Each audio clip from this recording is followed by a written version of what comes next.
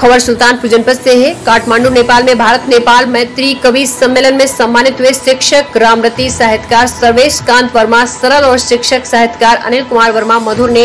संजय सिंह हेमंत निषाद अभिषेक गुप्ता दुर्गा प्रसाद निषाद जैसे सम्मानित पत्रकारों को पत्रकारिता सौरभ सम्मान और साहित्यकार राज बहादुर रामा को साहित्य श्रेष्ठ सम्मान प्रदान किया मटका क्लब सामाजिक संस्था का प्रतिनिधित्व करते हुए उक्त दो दोनों साहित्यकारों ने स्थानीय पत्रकारों को सिमरी मीडिया में पहुंचकर सम्मान सहित पत्रकार बंधुओं को यह सम्मान प्रदान किया सभी विद्वान जनों ने संस्था का आभार व्यक्त किया